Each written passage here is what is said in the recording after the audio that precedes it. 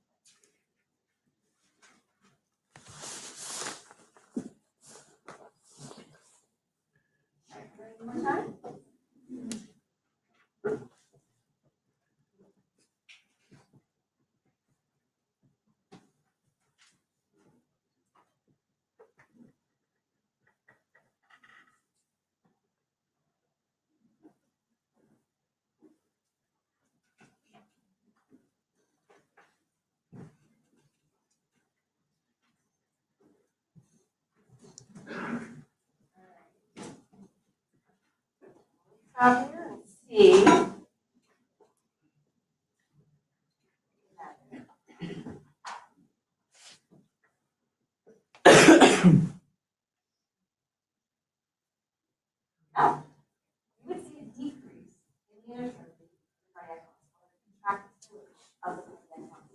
Why would you see that?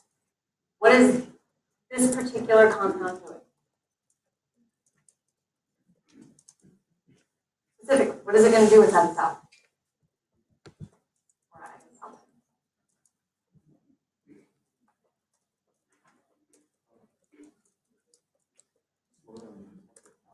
It's going to, yeah, it's going to slow down. It's actually going to shorten your plateau. Because anytime you add an AZ blocker, if you add it in a value that's not going to kill the actual cell, you are likely going to inactivate or block multiple channels that are on the surface. Remember, you have a ton of these. So you have to pay attention to the degree to which you add blocker. What this is really going to do is it is going to shut down the amount of calcium that can come inside the cell. If it can shut down the amount of calcium coming inside the cell, then it's going to shorten that plateau of the action. potential. It's also going to reduce the amount of calcium available for, for, fueling that property. Why do we care about calcium coming in from the outside?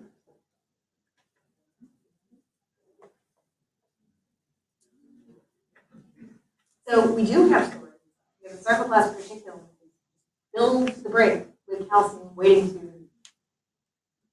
But in cardiac muscle, as with smooth muscle, you need to have calcium from the outside for calcium induced calcium release. It's not required for skeletal muscle, but it is required for smooth and for cardiac. so this is from, uh, I believe, the Berne and Levy book. But it'll give you a good indication of what is actually happening at that tubule inside of your cardiac.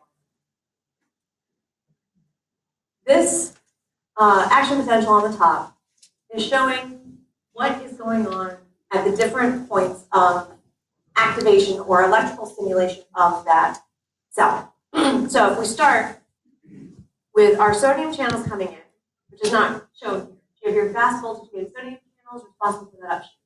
You have potassium channels that are responsible for that mild dip in voltage, and then you have these guys.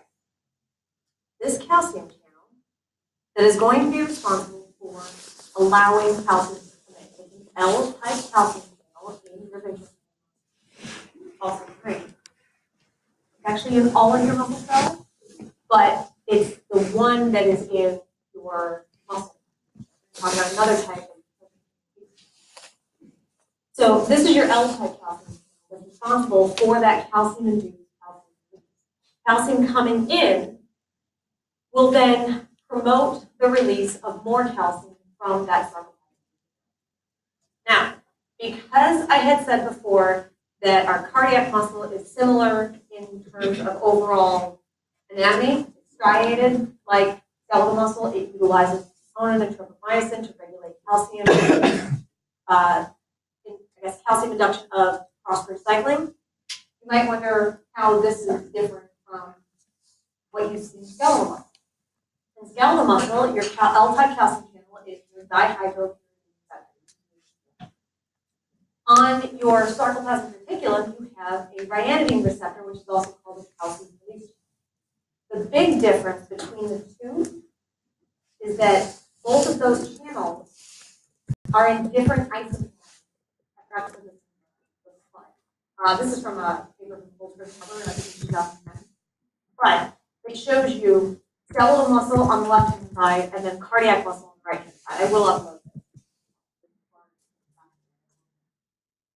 You have the DHPR, which is your voltage gated calcium, this type of calcium in skeletal muscle, and there's a different isoform cardiac. The same thing holds true for the ryanodine receptor. You have ryanodine one that's stays in your skeletal muscle, you have ryanodine two that's in cardiac. There's also a ryanodine receptor three, um, that's typically present in the brain. But for our purposes, we're looking at ryanodine one, and ryanodine. two, Okay? The biggest difference between these two sets the different isoforms is that the voltage-gated calcium and the ryanodine receptor one in the skeletal muscle are mechanically coupled. So it doesn't matter if any calcium comes in from the outside, it's not necessary. As soon as it's stimulated to open, it yanks open and allows.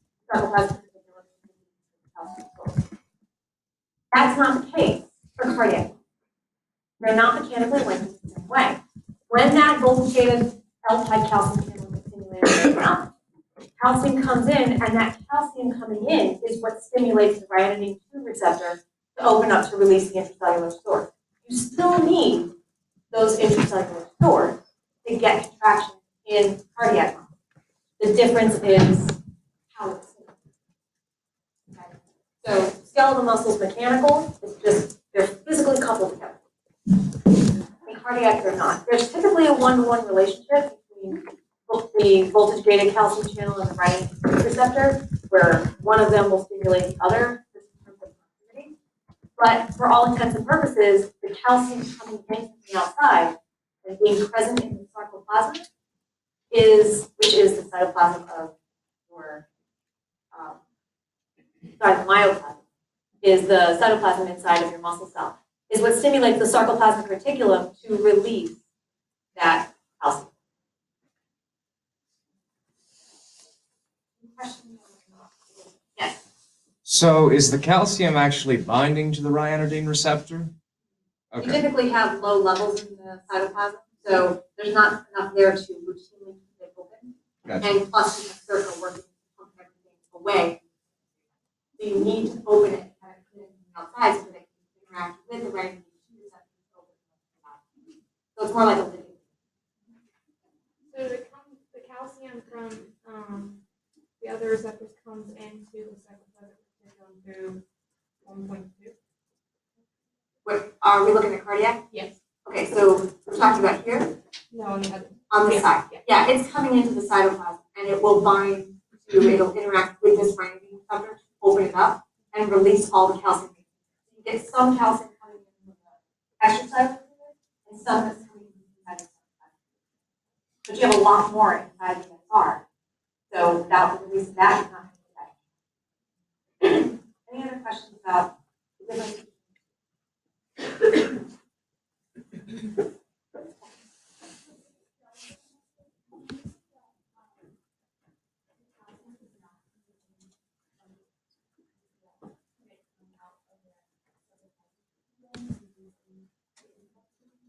You actually, so that was discovered at Purified, because purified skeletal muscle.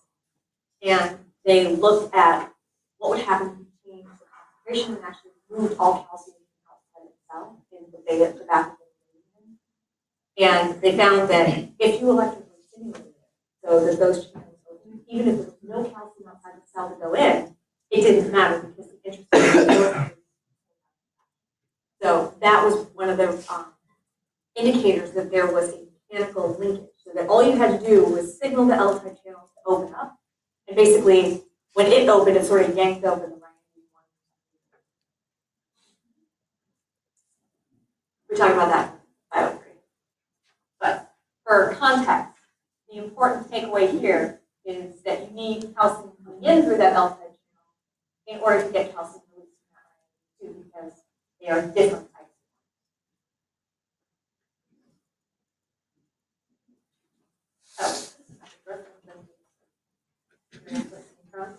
Want me to upload the whole paper? Just talks about structure function of. So I, I'll probably put the whole thing on as well, but I will extract the one figure. It's an interesting read for anybody that's curious about muscle biology. Okay. So, once your calcium gets released from the sarcoplasmic reticulum, it can bind to the troponin complex. Again, the details of the troponin binding, I will review. You just need to know that calcium binds to troponin in general and initiates contraction. When that happens, it will bind to allow it to move tropomyosin for cross-reception. You can actually get tension being developed once you have calcium coming in through the outside of the cell and then stimulating that release from the. Any questions on this so far? Okay. The next thing I want to talk about, we mentioned this before, typically talking about beta adrenergic receptors being G protein coupled receptors. They do have an effect on the heart instead of the uh, beta 2 adrenergic receptors we talked about last semester. They are beta 1 adrenergic receptors that you have present in the heart.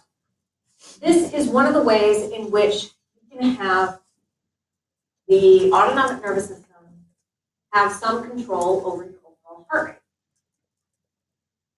Because we're looking at compounds that are binding to a receptor that's going to activate a G protein, the effects of that binding can last for minutes to hours to days, depending on uh, the strength of that binding and if there's any signal that feeds back to shut off.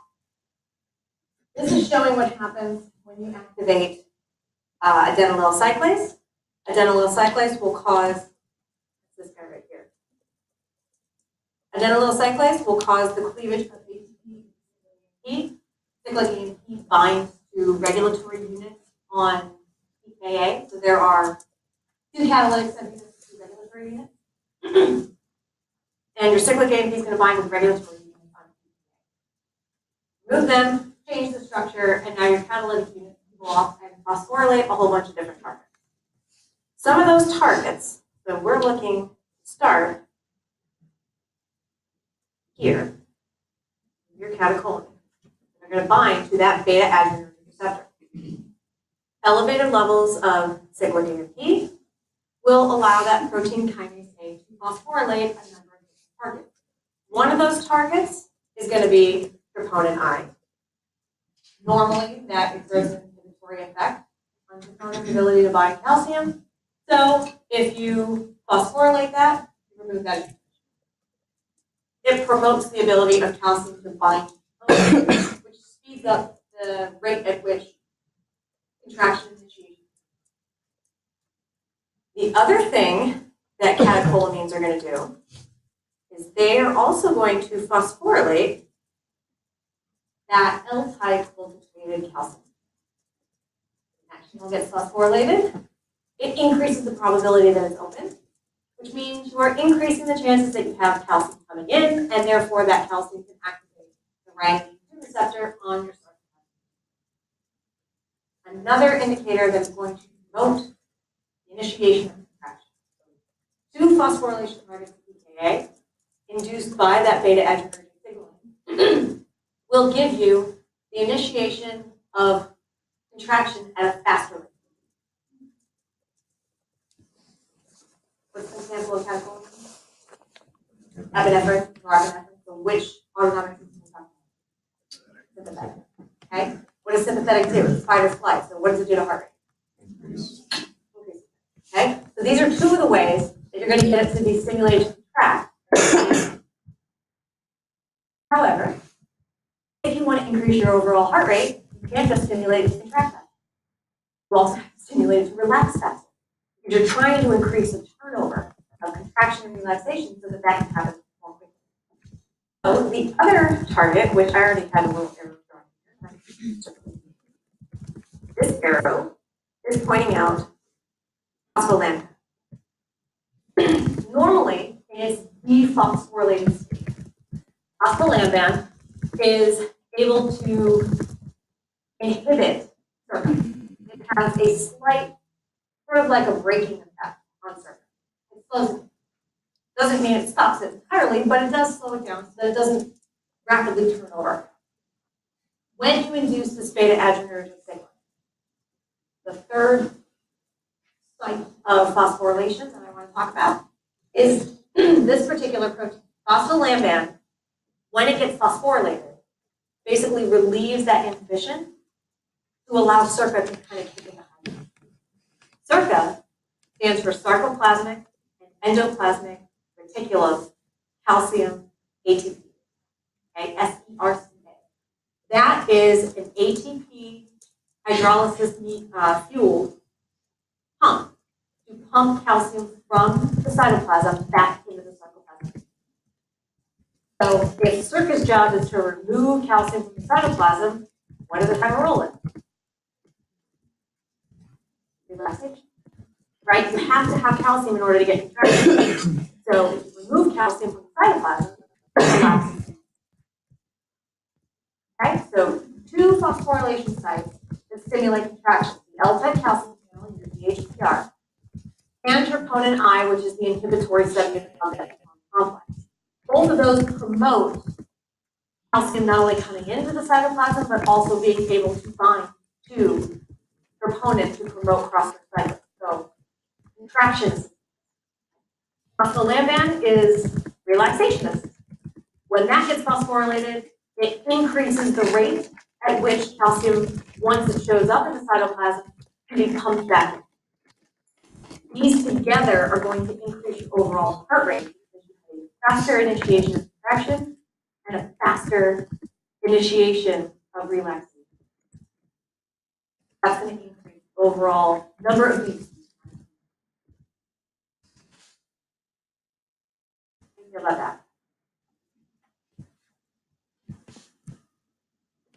that? Good? Any questions?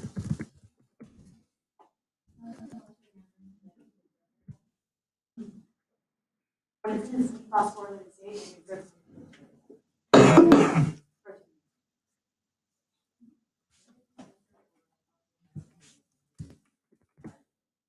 Okay,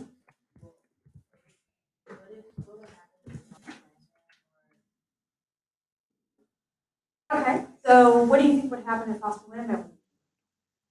Just all the time? It might not be stimulated to contract faster, but it relaxes.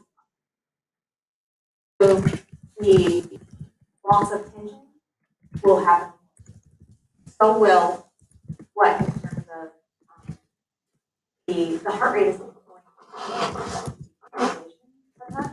It's the relaxation side. You're going to lose the tension faster. If you're losing the tension faster, what might that do to the body?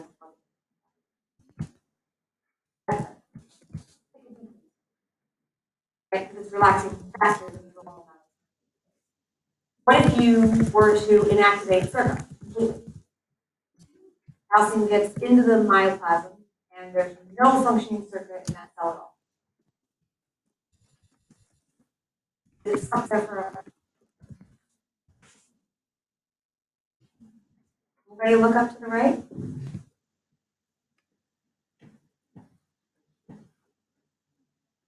You have another way to get calcium. Because to do the bulk of your work, don't get me wrong. So it will inhibit the ability of your calcium to get out of the cytoplasm, stick around longer, which is going to increase the duration of contraction. Okay, and increase the strength it. But there are other channels that are in the plasma membrane that are capable of removing calcium from that. You have a calcium ATPase, so hydrolysis of ATP that fuels the ejection of calcium from the body, or from, the body. And you have a sodium calcium exchanger that will basically exploit the potential energy of sodium coming in to fuel the ejection of calcium. So it would increase strength of contraction, it would increase um, the duration of contraction potentials, the duration of that contraction, but it doesn't mean that it would be a permanent.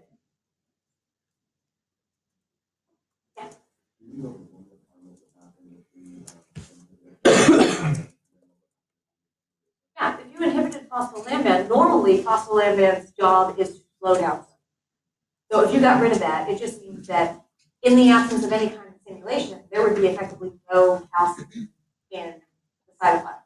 So for normal cellular function, the removal of all calcium from the cytoplasm could have consequences just for normal subcellular function. But it also means that um, even in the absence of sympathetic stimulation, you would have rapid re-sequestration of that, uh, that calcium into the sarcoplasm. So it wouldn't stay in the cytoplasm as long as normal in order to maintain that cross If you lost SERCA, SERCA is the big, it's pulling most of the weight for getting the cytoplasm cleared of calcium, but there are fallbacks. There are those two channels that are up in the plasma membrane capable removing that calcium. So you can still get calcium away and you can still relax that muscle to stop that tension being generated and getting calcium out. It's just that now it's going to all come out of the cytoplasm and go into the extracellular instead of which means the next time you stimulate to contract, all the calcium you get in kind of contraction.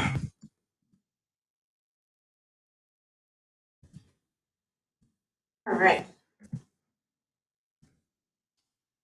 Any other questions? Go on to-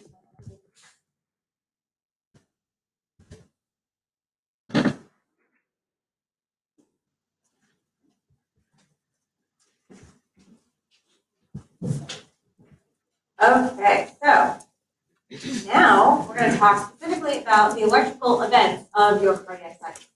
So this will be the introduction to uh, a lot of the stuff that's happening for what we're going to talk about next in terms of your ECG, which we'll do on Tuesday. But this will lead through all of the electrical events that are happening, not just the different types of action potentials, but also the directionality of depolarization of the heart, which will come into play when we talk about the cardiac action. So we have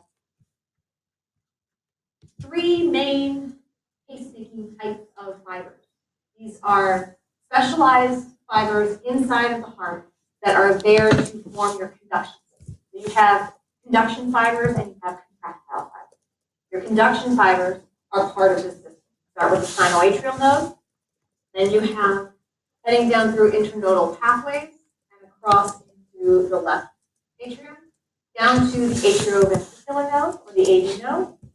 From there, the fibers will pass through the interventricular septum and down the left and right bundle branches, radiating out into the Purkinje system, which is responsible for conduction stimulus of ventricular depolarization. Okay? All of these are there to initiate and spread contraction, um, the electrical signal for contraction in one direction. So it should come from your right atrium and spread down. Your SA node, sinoatrial node, is one pacemaker. Your AV node, ventricular node, is another pacemaker. Your Purkinje system is another pacemaker. All of these are capable of self-activation, auto-depolarization, because they can activate themselves they, in theory, could fire and stimulate every other cell in the heart. So you have a couple of backups. Your SA node is going to royally mess with the way your heart works, but it's not with the cell. Okay?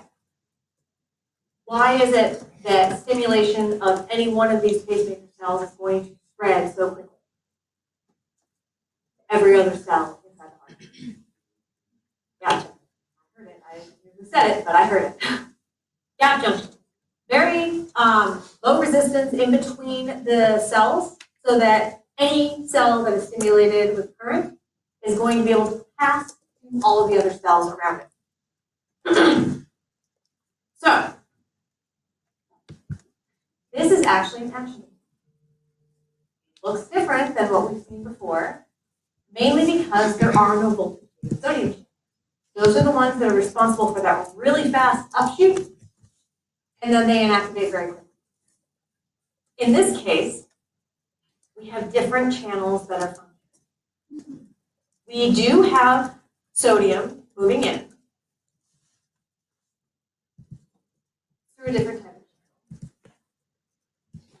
channel. The resting potential of your SA node is more depolarized. It's a less negative number than the resting number potential of your ventricular muscle. we talked about before. Ballpark, what was ventricular?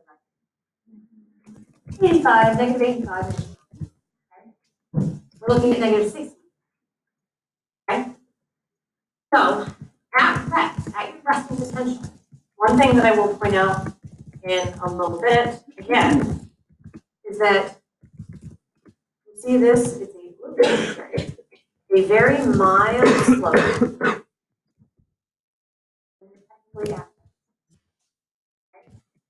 That's because of one of the types of currents. We're gonna have four different currents that we're gonna talk about.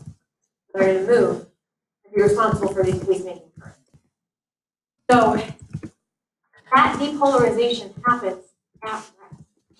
At resting potential, in these pacemaking cells, they have the expression of channels that are open at that value, which means you have a slow peak of sodium and calcium coming into the cell, even when the cells are rest.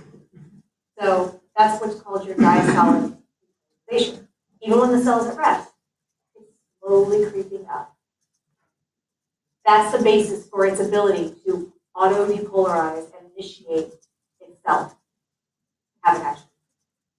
You still have to cross the threshold in order to open the other. Mainly your L-type. Okay? Your sodium coming in is one type of channel, that actually can a little bit of as well. You also have that other type of calcium channel. Remember what type that was? We have L-type, that's in everything. And then we also have your T-type calcium channels are active or open, have the probability of being open between negative 80 millivolts and about negative 20. So some of them are going to be open at this resting membrane. Your L-type calcium channels tend to be active between negative 30 millivolts and positive 30 millivolts. So once you actually have an action potential, those T-type calcium channels can shut down because you've crossed over its upper limit for being able to be active. That's where your L-type calcium channels are really responsible for the bulk of the work. All right, one thing I want to point out here, I'm going to show five different slides that show these, what the action potentials look like in different parts of the heart, so that you can see them up close. And then I'm going to show you one that has, the actual figure is one of them all lined up. You can see specifically the timing. So let's first take a quick look at your slow action. That slow action potential shows that you have this leak occurring during that resting. This is your diastolic. That is because of the movement of sodium leaking in the cell and some calcium leaking in the cell. Okay, so that's your sodium leak. Your, sorry, that's supposed to to.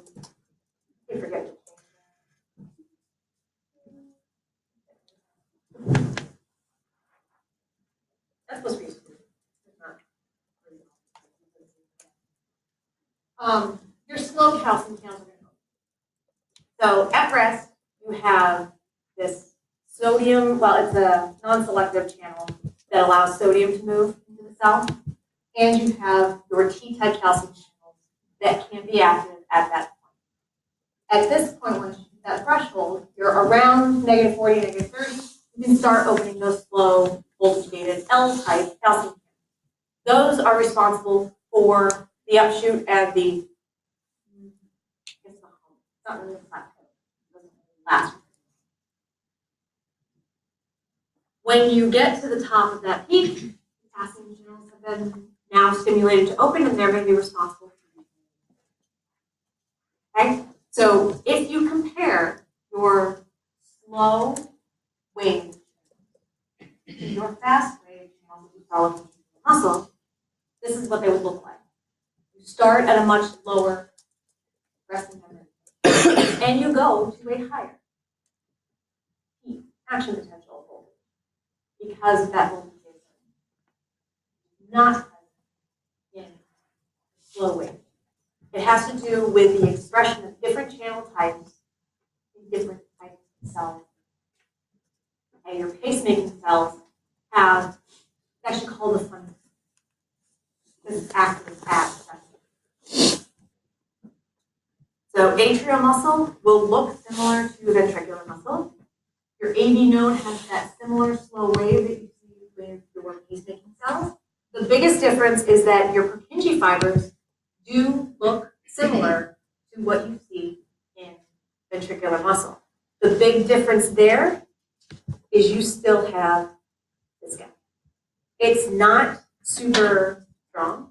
It's a slow and steady increase, but you do still have that funny current that allows for sodium to leak in and some calcium to leak in when you're at rest, even though that resting potential is more negative than your node.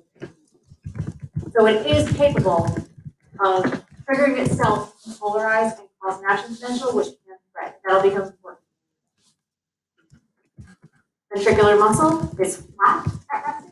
You don't have it's not board, and it's the same one that we've been talking about. All right, very quickly. This one is a, like a short answer. Why do you have to have it go through the AV node? Why didn't you just get the atria stimulating the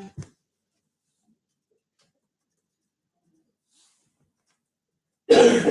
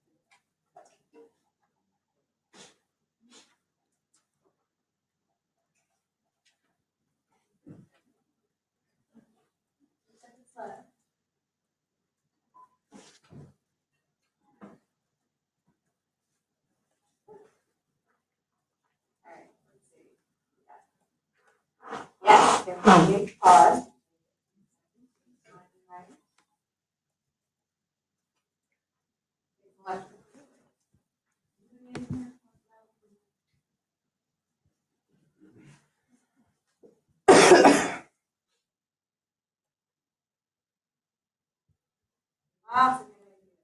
Very good. So, I think pretty much everybody got the the main reason for unidirectional flow and also some of the timing? You don't get contraction ventricles and the the time.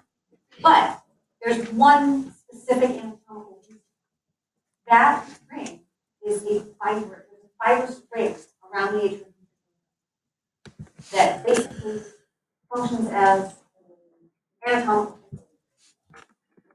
So that all current that comes down through those systems has to pass through there because there's no other way for it to get through from the atrium to the ventricle. Okay? That AV ring ensures that everything passes through that AV node to control the directionality and timing of current conduction throughout the heart.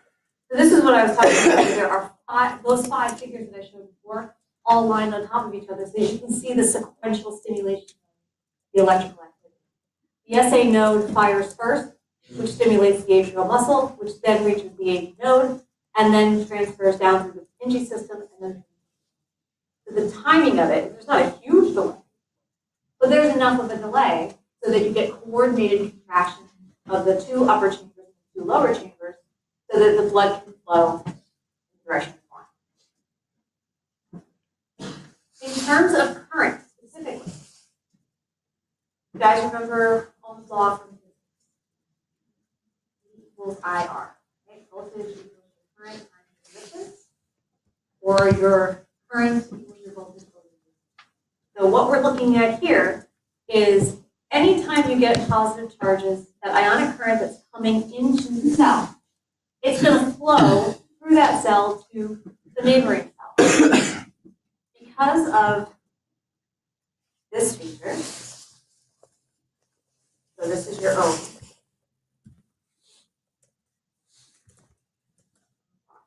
Okay?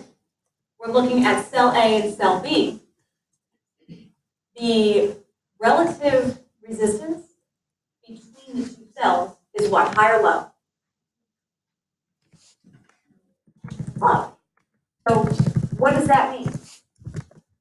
Have very low resistance to current two.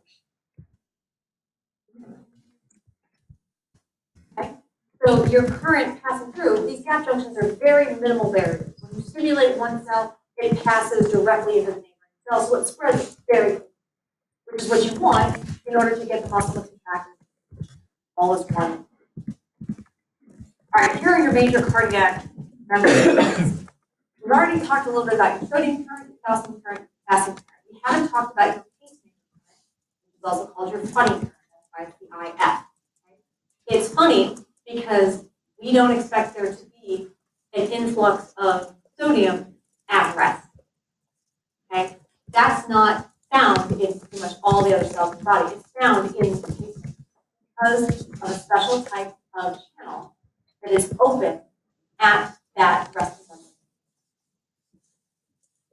Okay, so what it looks like when we're looking again at these current flows, so this one actually does a good job of showing you that below that dashed line is inward, okay, and above is outward.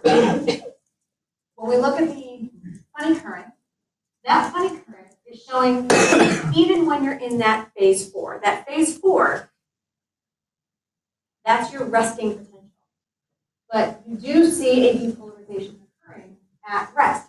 Part of that is calcium, and part of that, most of that, is that funny. It's the slow leakage of sodium coming in through those channels to allow for that slight incline in the diastolic. Phase four by definition is usually resting, right? But during rest, these cells are actually slowly. Once they get to threshold, that's when the other type of calcium channel opens. And you get So we're looking mainly at heat.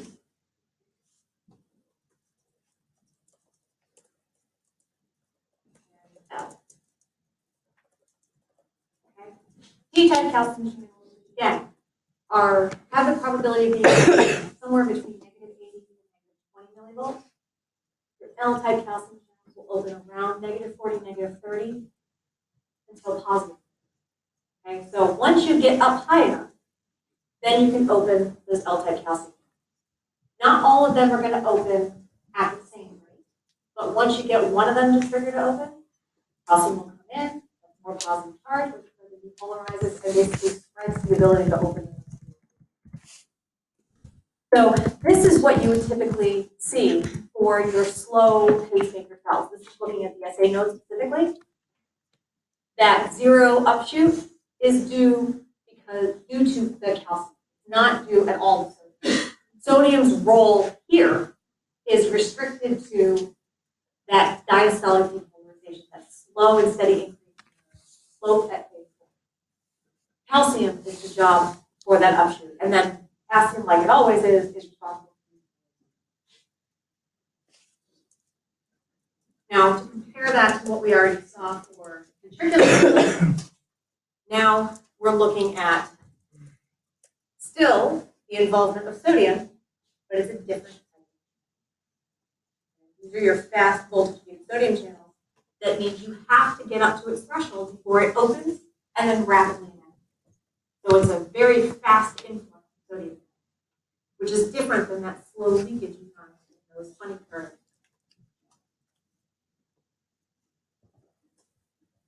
This one also shows relative, effective or absolute. It should actually. This one came from the Boron book, but technically, it's more of all the absolute refractory really be effective, as I said before, that that transition.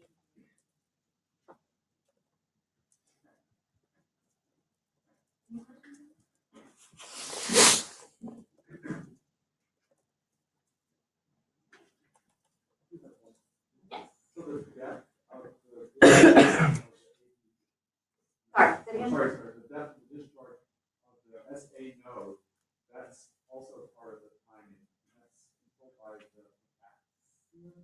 For what? how far the FAO depolarizes, how deep it goes, and then it leaks up. Oh, so that, it goes down to about negative sixty, so it's still less negative than you find in the fibular muscle. muscle. That's its resting potential, and that's the starting point of that slow, steady. Is it always the same sixteen volts, or can it go to seventy? It can, it can fluctuate, and it'll fluctuate based on, you know, individual cells, it'll fluctuate based on expression levels of that exist, but it'll also fluctuate with people, so negative sixty is sort of your, your average. Most of the numbers that we're talking about are not hard and fast, they are average numbers, and what you're really looking for is, for an individual, how does it change?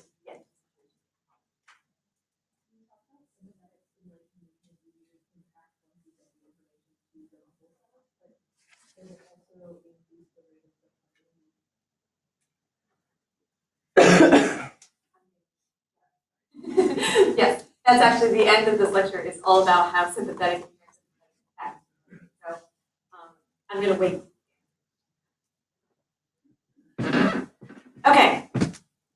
So this is just another figure that runs through the directionality of what is happening for electrical current through the heart. The reason that we care about this directionality is because, as I said before, you have more than one pacemaker inside your timing of the discharge of these pacemakers is going to indicate which one of them controls the heart rate.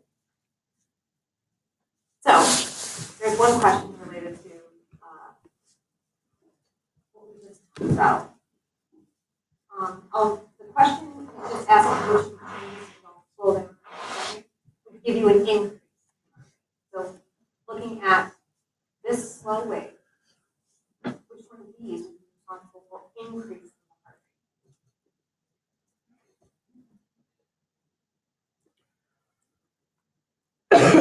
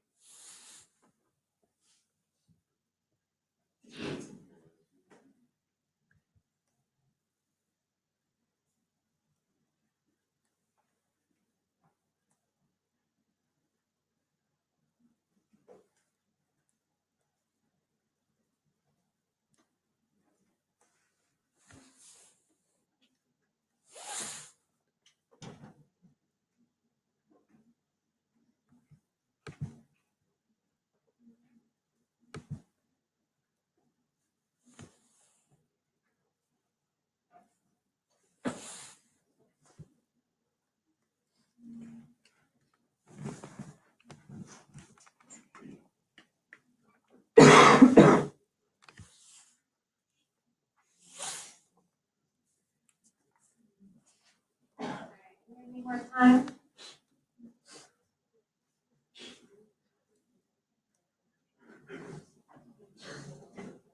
All right, stop. All right, so let's see how we did. Yay! All right, so let's talk about why. So our options are looking at more negative threshold for activation. Based on this figure, if you had, um, if you had a more negative threshold, what does that mean for the shape of this? Where would you start, where would it, what would it affect? It would affect the slope of what? How would it affect?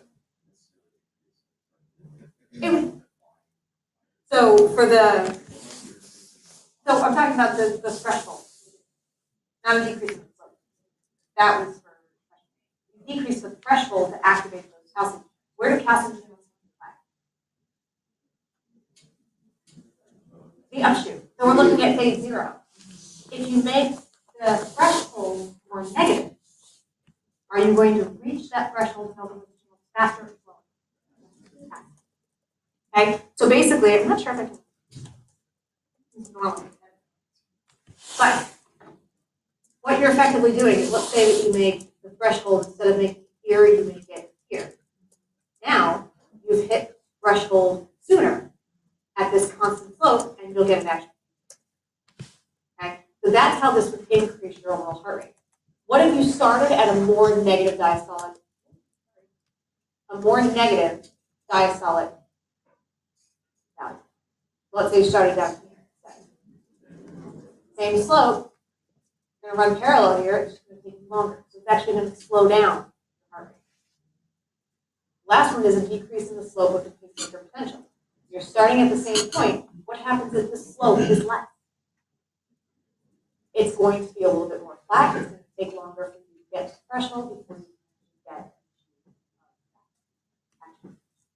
So with regards to the, we've had, um, well, it's said a lot of things like the heart is making the adjustments to react to your body has these weird pathologies about it. If you had a more negative, uh, resting, like, resting potential, diastolic potential, why wouldn't the heart make adjustments to those leak channels, like sodium and calcium, to increase their influx to reach that, um, uh, depolarization threshold that running current limit at the same amount of time? Why does it have to happen over a longer amount of time? How would you do by, well, if the, if there's an electrochemical a larger, um, extracellular and intracellular environment, wouldn't that force necessarily the the cells if faster How would you change the?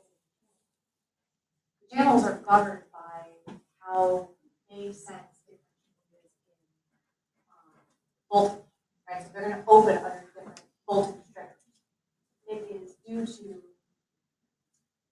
protonation, right? The presence of protonation of particular residues inside of the actual protein itself that will cause it to change.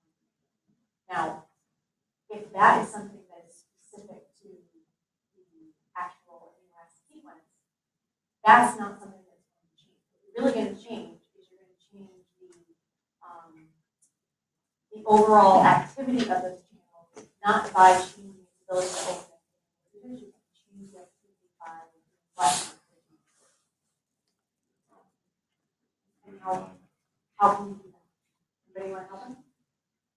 how, can you modify a protein? How can you modify a protein activity? You can add something to it, phosphate groups, you can add methylation, right, acetylation groups, to all these different proteins in order to stimulate or silence. So that's actually where we get into the sympathetic and parasympathetic stimulation to phosphorylate different targets based on elevated or. You can activate, um, you can basically upregulate or downregulate the expression of the number of channels.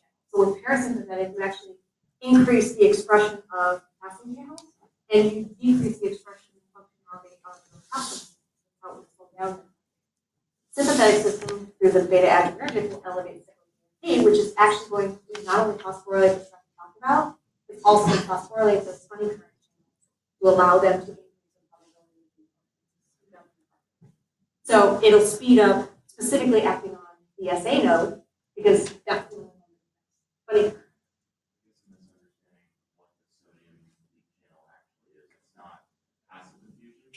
It is. No, it's passive, it's, it's just a channel. So any channel that we're talking about, the only decision that you make about movement in terms of direction is based on electrical gradient. So if you have sodium outside the cell, calcium outside the cell, basically your sodium is going to leak in because a certain number of these channels are going to be open at the rest of the Just the kinetics of that channel itself, a percentage of them are going to be open. You can increase the number of them that are open by phosphorylating them. The body is already developed. The cells are already maintaining maximum leaky influx at, you know, the regular action of the cells. If that just because you uh, decrease the negative threshold of diastolic threshold doesn't mean that you have more sodium through the channels. It's already maintaining. Yeah, so it's the, the gradient, it has to, has nothing to do with what your voltage is, except for the fact that you're making it more negative. So you are enhancing the negative draw of sodium. So in theory, you are increasing the thickness of it, but you do have to think about how many channels are open. So there will be a maximum flux. All right. Okay, so somebody, last time I think, asked about the T wave being positive. So this figure, I think this is from Guyton, walks you through, um, looking at the spread of how that signal is going to come from depolarizing the SA node and spread down into the heart. So starting at the SA node, it will spread through the atria and into the AV node. It will go down the interventricular septum. And it'll spread through the bundle of His, the one part right um, distal to that AV node. And then it will spread out into the right and left bundle branches. And once it spreads out from there, it will radiate around through the Purkinje system. This is the part that will answer.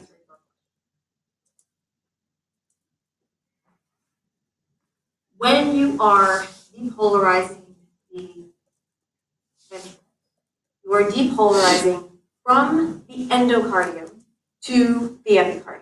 And that is what we're looking at here. Endo, and then myo, and then epi. Okay? So this is how you are depolarized from the inside out. When you repolarize, you repolarize from the outside. Because the repolarization current is going in the opposite direction that the depolarization current is, they both show a positive curve on that Because the ECG is measuring current flow, just overall measurement of current flow in one direction, based on where you are. Okay, so because you start in the endocardium and you go out to the epicardium, that means that you have that positive flux. Repolarization should be a negative flux if it followed that same endo to epi it doesn't. it goes. That's why that T wave also shows that positive. Okay, after it spreads down, it will radiate up and depolarize the entire ventricle. I. Um, I think I'll show it on the next one. It'll actually show the spread of current as it relates to the. Uh, I'll show that to you on Tuesday. So this one, this is sort of just a drawing apart to show you what the basic timing is for the arrival of that action potential that initiates at the SA node. So if we are starting here, that's going to be your zero point. It takes three hundredths of a second for that impulse to get from the SA node through the atrium to the AV. It's actually very fast. But there's a delay of a little less than a tenth of a second at the AV node. It takes time for that signal to get through that fibrous ring. Not. It will take time for it to get through that sort of bottleneck to allow it to pass down through the bundle branches and into the interventricular septum. So you have this delay. It takes 0.03 to get there, but it's this relationship between here to here. That's the delay. There's a delay between arrival at the AV node and arrival at the AV. Okay, so the bundle of His is not going to receive it right after the AV node does. It takes a little bit of time for it to be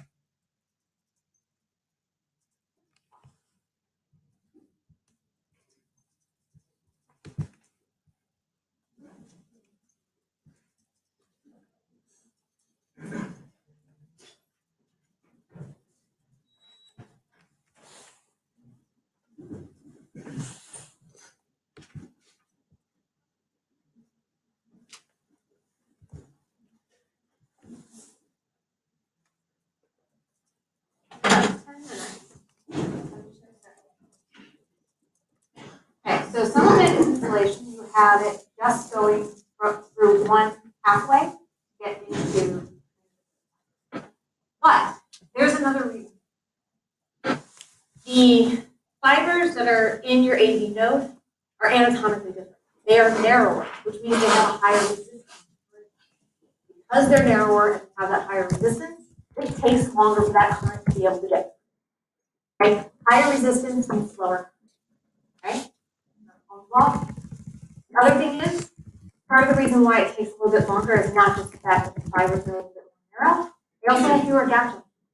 But they have fewer gap junctions, there are fewer low resistance pathways between neighboring cells to allow them to polarize and spread that.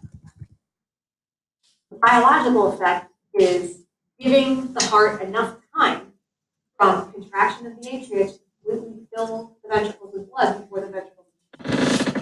That's a biological or physiological effect of the time delay due to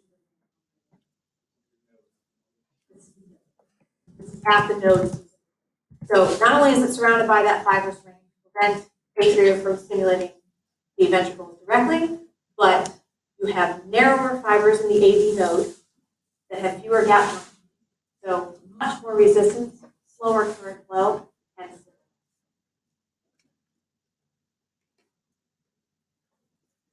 all right. So our sinus node, or sinoatrial node, normally has a discharge rate of about 70 to 80 per minute.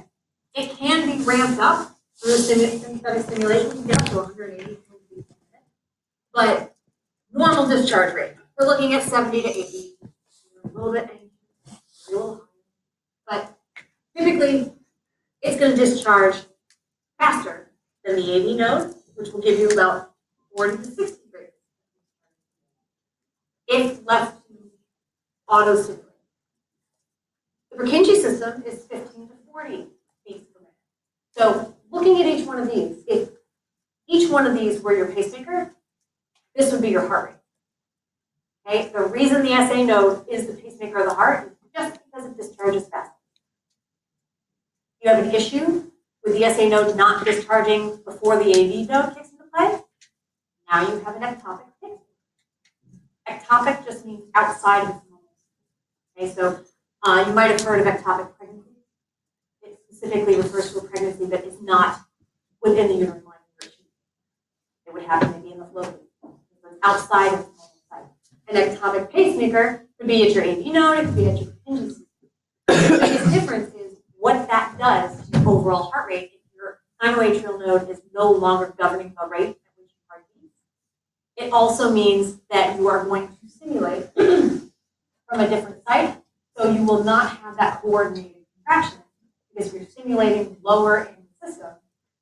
That current's going to spread in both directions. Current's going to spread in both directions. The reason it typically spreads in one direction is because you're starting from up here and it's spreading down. You're starting from sort of one end of the heart. But if you were to start in the middle, you can have it radiating back up, and then you start to lose that coordinated contraction. So, fastest discharge rate is the reason why your SA node is the pacemaker of your heart. So, what happens if that doesn't work?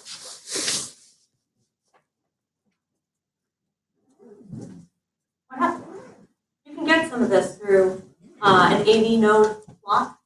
An AV block would be there's a problem with your atrioventricular node allowing current from the sinus coming in to the ventricle.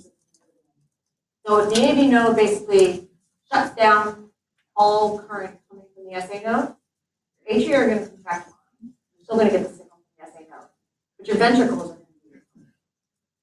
What's going to happen then? What happens if no current gets through that AV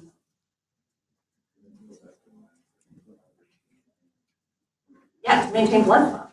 So you will get an ectopic pacemaker in the Purkinje system. It will come into play and start to contract. The problem is, the Purkinje system will only auto stimulate itself every 15, 40 times.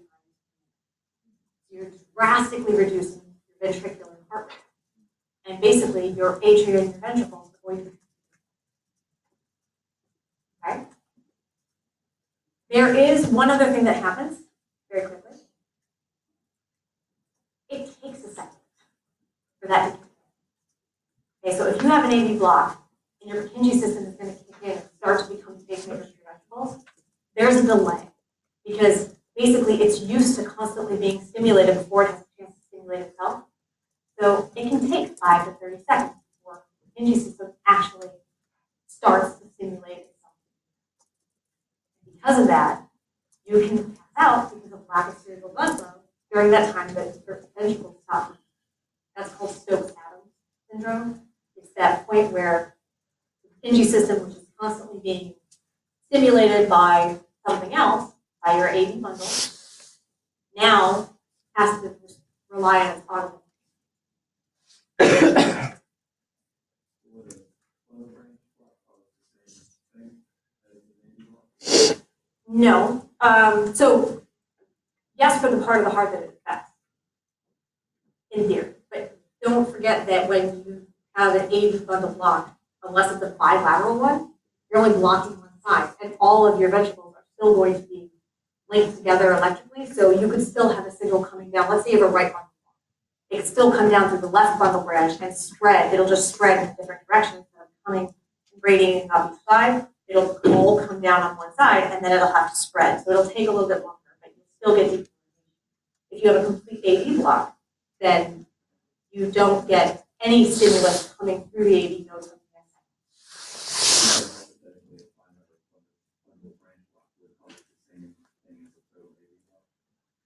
Yeah, in theory, if you, if, as long as you, I would have to say it would be a little bit higher up, just distal of the AV node. Because if you get down into the bundle of His, you can still radiate out the electrical. So it would, it would really have to be right after.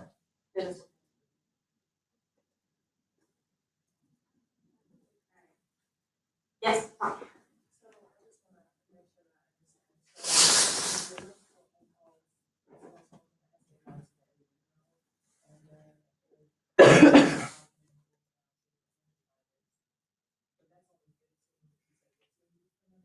Tom. Fifteen to forty. Um, so you can not no. It's not sustainable long term. You're looking at anywhere from fifteen to forty, so at best, you're getting forty beats per minute going fine. So, no, it's not, that's, that's something you need to, you need to go. And you will know something's wrong because chances are you're going to out the lines the blood that. And most likely the ones doing an uh, artificial.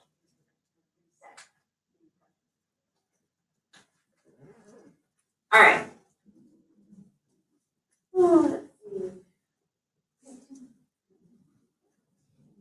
Okay, so we already saw this figure, but now I just want to walk you through some examples of what happens under each condition. Parasympathetic effects on the heart. Your vagal nerves are going to innervate the SA node and the AV junctional fibers right above the AV. Typically, vagus is going to have an effect on the atrium, so it can have a role to slow down your overall, overall heart rate. As I said before, it's going to increase your potassium permeability in response to the acetylcholine. And what that does is it's going to slow down your heart rate. If it slows it down too much, you can get ventricular escape. Ventricular escape is what we. When the heart rate stops, it goes down, and then the continuous system kicks into play, that's when the ventricles escape being stopped and picked up their own rate. So if you slow it down too much, if you have excessive parasympathetic then you can end up with escape.